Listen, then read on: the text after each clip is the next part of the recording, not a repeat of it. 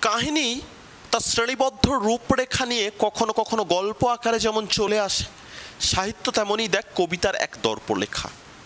সেই দর্পলেখার উন্নত রূপ বা চেতনাবদ্ধ গ্রন্থন নাটক আকারেও সাহিত্যকে সমৃদ্ধ করে।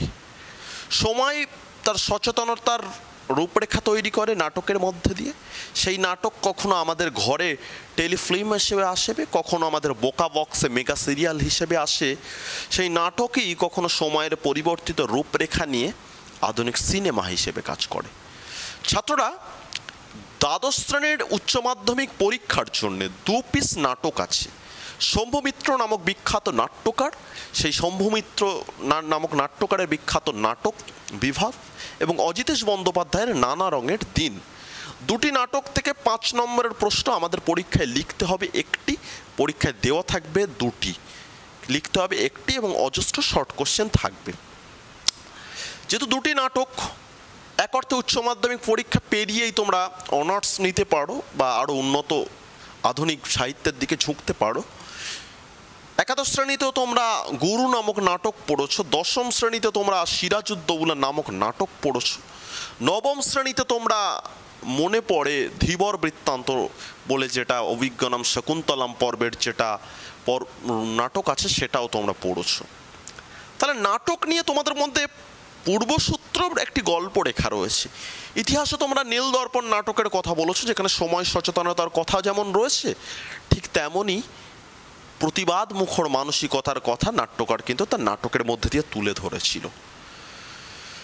তাই আমরা যে কাজটি করতে পারি, সেই কাজটি হচ্ছে বিভাব নামক যে নাটক রয়েছে, সেই নাটক সম্পর্কে যেমন আমরা কথাবার্তা বলব, ঠিক তেমনই আরেকটি কাজ আমরা করব, নাটক কেন রচনা করা হয় এবং এই বিভাব নাটক রচনার প্রেক্ষাপট বা পূর্বসূত্র এবং সমকালীন সময় সমাজ ব্যবস্থা সম্পর্কে একটু বলব আমরা। তারপরেই নাটকের মধ্যে প্রবেশ করব। চলো, আলোচনার দিকে তাহলে আমরা আগিয়ে চলি।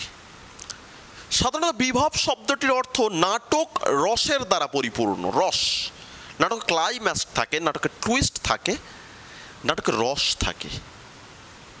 যেমন বীর রস, যেমন শৃঙ্গার রস, যেমন বেদনার রসের কাব্যগ্রন্থের মধ্যে থাকে, ঠিক তেমনি নাটকের মধ্যেও কিন্তু রস থাকে। এই রসের দ্বারাই নাটক পরিপূর্ণতা পায়। বিভাব শব্দটার অর্থ সাধারণত নানা রঙের বা নানা রসের ভাব। ঠিক তেমনি নানা রস বা নানা রং কেউ কেউ বলছেন মতান্তরে যে নটি ভাবের সমন্বয় ঘটেছে বিভাব এর মধ্যে দিয়ে। ওই জন্যে বিভাব নামটির মধ্যে দিয়ে যে বিভিন্ন ভাব। প্রশ্ন আসতে পারে, হঠাৎ করে এই ধরনের নামকরণ কেন? আর এই এইভাবে নামটা এগিয়ে চলা হলো কেন? যিনি নাটক রচনা করেছেন, তার সম্পর্কে একাধিক ইনফরমেশন দিতে হবে। প্রথমে বোর্ডের দিকে তাকালে দেখতে পারে, বাংলা সাহিত্যের অন্যতম বিখ্যাত নাট্যকার যে গোষ্ঠী ছিল, উৎপল দত্ত শম্ভুমিত্র বিজন ভট্টাচার্য, সেই গোষ্ঠীবদ্ধ রূপে অমৃতলাল মজুমদার সরি অমৃতলাল বসু, এই যে ভাবনাগুলো ছিল, সেই ভাবনার জায়গা থেকে দাঁড়িয়ে শম্ভু মিত্র কমিউনিস্ট এবং সোশ্যালিস্ট এবং গণনাট্য এবং নবনাট্য আন্দোলনের ভাবাদর্শে বিশ্বাসী একজন নাট্যকার। ভদ্রলোকের স্ত্রী তৃপ্তি মিত্র, অন্যতম বিখ্যাত নাম। এমন তোমরা জানো, বর্তমানে নাট্য গোষ্ঠী আছে নান্দিকার, যার পুরোধা বলা যেতে পারে শাওলি মিত্র। আমাদের শাওলি মিত্র মহাশয়া কিন্তু শম্ভু মিত্রের কন্যা। এখন এই শম্ভু মিত্র নাটকটি রচনা করেন সাধারণত উনিশশো পঞ্চাশ খ্রিস্টাব্দে এবং মঞ্চস্থয় উনিশশো একান্নর মে। বিতর্ক থাকতে পারে, কেউ বলেন একান্নতেও রচনা, কিন্তু একান্নতে অভিনয় করা হয়। বহুরূপী নামক একটি নাট্যগোষ্ঠী, যা নবনাট্য আন্দোলনের একটি গোষ্ঠী বা টিম হিসাবে আমরা সাহিত্যের মধ্যে জেনে থাকি। সেই সাহিত্য গোষ্ঠীর অন্যতম বিখ্যাত নাটক বিভাব। সৌম্যমিত্রের জন্ম মৃত্যু তোমাদের কাছে একটু জেনে নেওয়ার দরকার, উনিশশো পনেরো এবং উনিশশো সাতানব্বইয়ে ভদ্রলোকের প্রয়াণ ঘটে। এখন বড় হচ্ছ। শুধুমাত্র টেক্সট পড়ে তো কিছু ধারণা জন্মালে তো হবে না, সাহিত্যের কিছু রূপরেখা বা ইতিহাস তো আমাদের কাছে জানতে হবে। দেখো নাটক যখন প্রথম লেখা হতো, তোমরা নিশ্চিত এটা তো জানো যে নাটক আসলে সমাজের প্রয়োজনীয়তার তাগিদেই তৈরি হয়। পৌরাণিক কালে নাটক বিনোদনের তাগিদে তৈরি হতো। ধর্মভিত্তিক নাটক হতো গিরিশচন্দ্র বাবুর নাটক ছিল, গিরিশ ঘোষের। দীনবন্ধু মিত্র সমাজ সচেতনতার গল্প দেয়। মাইকেল মধুসূদন দত্ত তার নাটকের মধ্যে দিয়ে যেমন প্রহসন করেছেন, তেমন পৌরাণিকতা এনেছেন, তেমন ইতিহাসের প্রসঙ্গ টেনেছেন। অমৃতলাল বসুরা এসেছেন। এইভাবে নাটক চলছিল। রামনারায়ণ তর্করত্ন প্রথম দিকে এই নাটক এনেছিলেন। নাটক চলতে চলতে চলতে চলতে হঠাৎ করে সময়ের পরিবর্তন হলো। ভালো এবং মন্দের পারস্পরিক যে দ্বন্দ্বের মধ্যে দাঁড়িয়ে মানুষের সমাজ ব্যবস্থার পরিবর্তনশীলতার রূপচিত্র কিন্তু নাটকের মধ্যে আসতে শুরু করে দিল। স্বাধীনতা আন্দোলন চলতে শুরু করল। ভারত ছাড়ো আন্দোলন, বিশ্বযুদ্ধ সর্বব্যাপী প্রভাব পৃথিবীতে ছড়িয়ে পড়তে শুরু করল। কালোবাজারি অর্থনৈতিক মন্দা আসতে শুরু করে দিল। কমিউনিস্ট আন্দোলন বা কমিউনিজম ঘটতে শুরু করল, বিশ্বের কমিউনিজমের দ্বারাই প্রচালিত বা প্রবাহিত হতে শুরু করল। পঞ্চাশের আন্দোলন হতে শুরু করল। ঠিক সেই সময় দাঁড়িয়ে নাটকের একটি নির্দিষ্ট প্যাটার্ন ফর্ম আসতে শুরু করল, যার নাম গণনাট্য আন্দোলন। উনিশশো চল্লিশ থেকে মূলত গণনাট্য আন্দোলনের প্রচার প্রসার হতে শুরু করল। কিন্তু কিছু কিছু ছেলে তৎকালীন সময়ে যারা মনে করছিল যে গণনাট্য আন্দোলন অতিরিক্ত রাজনৈতিক ভাবনার দ্বারাই পরিচালিত হচ্ছে, সাহিত্যের প্রচারিত বা প্রসারিত রূপরেখা অনেক সময় রাজনীতির দ্বারাই সর্বগ্রাসী হয়ে পড়ছে। তার জন্যেই উনিশশো আটচল্লিশের দিকেই শম্ভুমিত্ররা উৎপলবাবুরা বেরিয়ে এসে একটি নতুন টাইপের প্ল্যাটফর্ম তৈরি করল, নতুন টাইপের নাট্য আন্দোলন গোষ্ঠী তৈরি করল, যার নাম নবনাট্য আন্দোলন। এখন এই যে নবনাট্য, এই যে গণনাট্য হলো একটা গোষ্ঠী, নাটক একটা ফর্ম এই ফর্ম পরবর্তী সময়ে চেঞ্জ হয়েছে। গ্রুপ থিয়েটার এসছে থার্ড থিয়েটার এসছে। কতগুলো ছেলে এক জায়গায় চলতে চলতে চলতে চলতে তাদের মনে হলো যে আমরা একটু নাটক করি। যেমন করে তোমরা স্কুলে ইন্টার স্কুল কম্পিটিশান করো বা ইন্টার স্কুল কম্পিটিশান করো, যেভাবে তোমরা নাটক নিজেরাও মঞ্চস্থ করেছ। এই ব্যাপারটি আমরাও স্কুলে করেছি, তোমরা অনেকে করছ ইন ফিউচার করবে। এই যে দেখো, নাটক করতে করতে, নাটক করতে করতে সবার কাছে কিন্তু টাকা থাকে না। তোমরা নিজেরা জানো, নাটক সম্পর্কে একটুখানি টেকনিক্যাল দিক তোমাদের কাছে তুলে ধরি। আমরা দেখো, নাটক যখন আমরা করি নাটকের দুটো রূপ রয়েছে। নাটকের শ্রেণীবদ্ধ রূপ রয়েছে, নাটক সাধারণত অ্যাক্ট অ্যাক্ট ওয়াইজ হয়। অ্যাক্ট ওয়াইজ মানে কি অঙ্ক। একটি অঙ্ক এইভাবে। জাস্ট একটু নাটকের ইন্ট্রোডাকশন তোমাদের কাছে আমি দিয়ে দিই কারণ এইটা আজকে না দরকার হলেও নানা রঙের দিনের ক্ষেত্রে কিন্তু প্রচণ্ড পরিমাণ দরকার। দেখো একটি নাটক কীভাবে আসছে, এটি নাটকের যে পিছনটাই দৃশ্যপট বা পর্দা থাকতে পারে। আমি এটা দৃশ্যপট বলে দিচ্ছি। কি বলছি এটা? দৃশ্যপট, বোঝো যেটা ব্যাকগ্রাউন্ড থাকে। সাধারণত সামনে এই জায়গাটি একটি পর্দা থাকে। থাকে তো? এই যে অংশটি থাকে, এখানে সাধারণত প্রম্পটার থাকে। কে থাকে? প্রম্পটার, যে অনেকটা সময় মাঝে মধ্যে সংলাপ আউড়িয়ে দেয়। এই জায়গার যে অংশটি, এটা কি হয়? এটা হচ্ছে মঞ্চ। মঞ্চের পিছনে এই যে অংশটি থাকে, এই অংশটি থেকে যেখানে এন্ট্রান এন্ট্রান্স বা এক্সিট থাকে, পিছনে যেখানে নাট্যকাররা মানে সবাই পোশাক আশাক চেঞ্জ করে, এই জায়গাটিকে আমরা সাধারণত বলে কি? গ্রিন রুম সাধারণত এই যে সামনে যে অংশটিকে থাকে, এই সামনে এই অংশটিতে সাউন্ড থাকে। কি থাকে? শব্দ। এই যে অংশটিতে থাকে, সেখানে কি হয়? শব্দ থাকে। এইখানে সাধারণত আমরা দেখি দর্শক বসতে পারে। কি বসতে পারে? দর্শক বসতে পারে। এরকম যে অংশটাকে এই জায়গাটা থেকে ফোকাস করার জন্যে বা এই জায়গাটা থেকে ফোকাস করার জন্য সাধারণত নাটকে কিসের ব্যবহার করা হয়? আলোর ব্যবহার করা হয়। এখন নাটকের যে এই সমস্ত উপাদান গুচ্ছ সাধারণত রইল প্রবলেমটা কোথায় দাঁড়ায়? এই যে মঞ্চটা সাজানো নিয়ে। কি সাজানো নিয়ে? এই মঞ্চটা সাজানো নিয়ে। মঞ্চটা আমি কি দিয়ে সাজাবো? একটি বড় লোক বাড়ির যখন দৃশ্যপট থাকে, তখন সাধারণত কি হয়? তখন এখানে মঞ্চ সাজানোর কথা থাকে। এখন তার আগে আরেকটি ধারণা তোমাদের কাছে দিয়ে দিই, সেটি হচ্ছে অঙ্ক এবং দৃশ্য নিয়ে। মনে করো এটা পর্দা। তাহলে একটা নাটক যখন চালু হচ্ছে, তাহলে পর্দা একবার উঠে যাচ্ছে বা পর্দা একবার খুলে যাচ্ছে। পর্দা যখন একবার খুলে যাবে আর পর্দা যখন টোটালি একবার নেমে যাবে তাহলে এই ওঠা আর নামা শুরু হলো পর্দা উঠে এবং পর্দা নেমে গেল।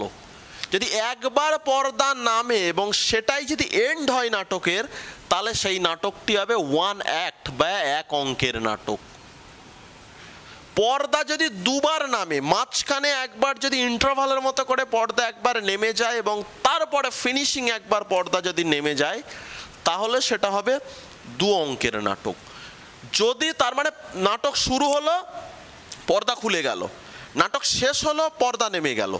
তাহলে হয়ে গেল সেটা এক অঙ্কের নাটক।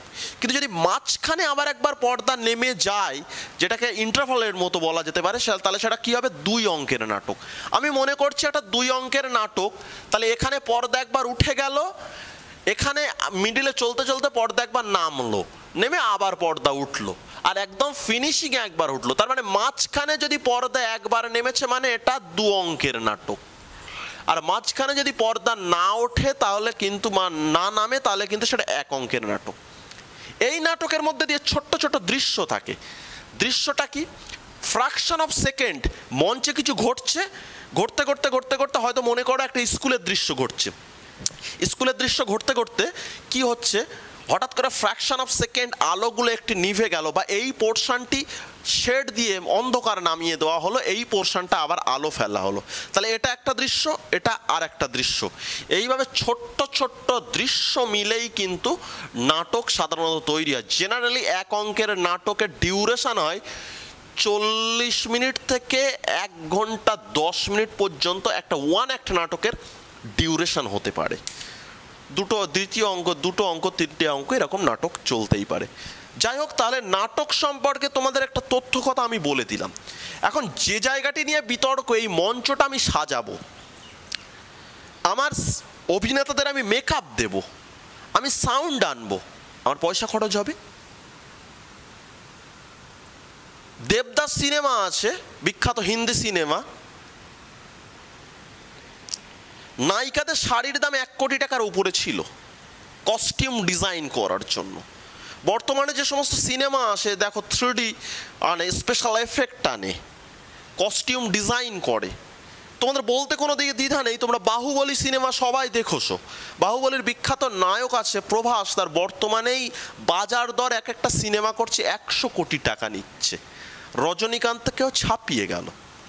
তাহলে প্রশ্নটা হচ্ছে, আমি একটি নাটক করব বা আমি একটি সিনেমা করব, আমার তো খরচ হবে ফ্রি তো কেউ করবে না। এখন আমরা যদি অল্প কিছু ছেলে মেয়ে, আমাদের ইচ্ছা হয় আমরা একটা নাটক করব, তখন আমাদের ইচ্ছা আছে কিন্তু আমাদের কাছে টাকা নেই। তাহলে আমরা কি করতে পারি? তার উপর সরকার আমাদের নানানভাবে ট্যাক্স চাপাচ্ছে, তাহলে আমরা কি করতে পারি? তখন আমরা যে কটা কথা বলতে পারি এক্সপ্রেশন ওয়াইজ অ্যাক্টিং ভেবে নিয়ে অভিনয়। আমার চোখ বলে দিচ্ছে, এইখান থেকে একটা পাখি সাঁই সাঁই সাঁই সাঁই সাঁই সাঁই করে উড়ে যাচ্ছে। আসলে পাখি উঠছে না, কিন্তু আমি এ করছি। আমি হঠাৎ বলছি, একটা বাজ পড়ার আওয়াজ হচ্ছে, আমার কিচ্ছু নেই, কোনো সাউন্ড হয়নি। আমি কানে হাত দিয়ে বসে পড়লাম। That's called expression wise acting ভঙ্গিমা নির্ভর নাটক। বিভাব হচ্ছে বাংলা সাহিত্য সেই জায়গাটাকে এনে হাজির করেছে, যেখানে একটা ভঙ্গিমা নির্ভর নাটক। এই কারণেই এই নাটকের মধ্যে একটা নতুনত্বের গল্প বা ভাবদৃশ্য রয়েছে, যেখানে নাটক ভঙ্গিমা নির্ভর কি হচ্ছে? সৌম্যমিত্র দেখছেন এবং আরও একটা ব্যাপার ঘটছে নাটকের মধ্যে। সেই ব্যাপারটি কি ঘটছে? যে ব্যাপারটি ঘটছে, এই নাটকে কিন্তু সবাই বাস্তব ক্যারেক্টারটা এসে হাজির হয়েছে। That's called Soumitra is Soumitra, Tripti Mitra is বৌদি। অমর গাঙ্গুলি ইজ অমর গাঙ্গুলি। আলাদা কোনো চরিত্র না। যারা বাস্তব জীবনে যে চরিত্র অভিনয় করে এবং তাদের বেঁচে থাকার যে ক্রাইসিস যে সংকটগুলো তাদের জীবনযাত্রায় ঘটে রয়েছে, সেই সংকট বা ক্রাইসিসকেই কিন্তু নাটকে ফর্ম দিচ্ছে। বুঝতে পারছ? বহুরূপী নাট্যগোষ্ঠী নিয়ে যখন নাট্য পরিচালনা করার জন্যে, সৌম্যমিত্র যখন বহুরূপী নাট্যগোষ্ঠী নিয়ে নাট্য পরিচালনা করতে যাচ্ছেন, তখন সৌম্যমিত্র একটি কাহিনী দেখছেন। দেখছেন কি?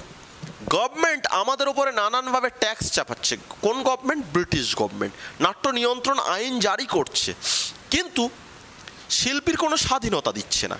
কিন্তু যারা যারা সরকারের তোষামত করে নাটক করছে, সরকার তাদের উপরে কোনো ট্যাক্স চাপাচ্ছে না। এখন এই যে প্রসঙ্গ, নাটকের মধ্যে ঢুকছি কিন্তু, এটাই কাহিনী।